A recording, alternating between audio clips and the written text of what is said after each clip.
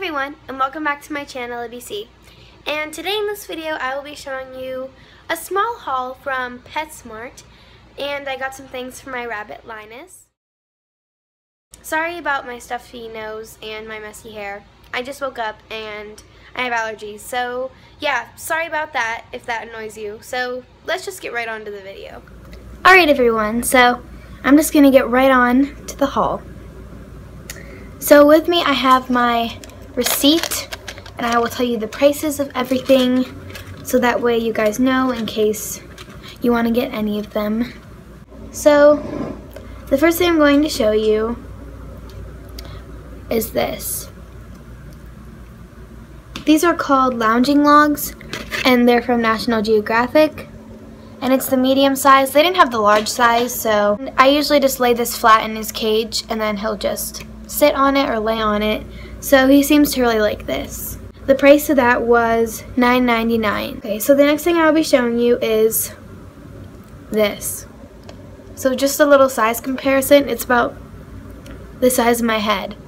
So this is a willow ball. Linus loves willow and he'll probably go through this in like a day. And that was $6.99. The next thing I got was this mini knot nibbler and it's just this little Maze wood chew, and in the middle it just has this little rattle ball. So he really likes this. He likes to throw that around. So.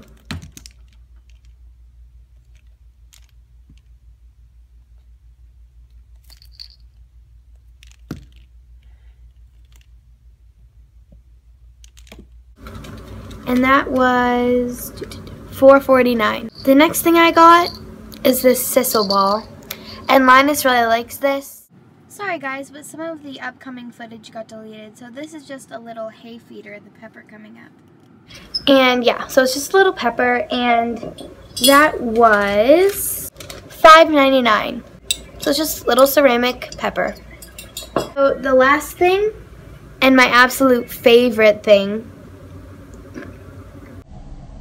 This is the cutest thing I've ever seen little grape wood chew. So a lot of it is wood. The grapes are wood and the stem is wood. And then this is loofah, the little stem. And then there's little twine in between to hold the grapes together. And this was $5.99. That's all I got for this little short haul. And in all, I got everything for $44.33. So, yeah, I just stocked up on toys.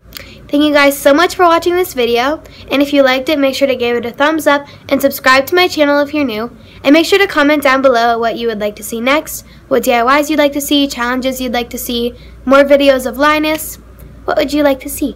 Thanks so much for watching, and I'll see you next time. Bye!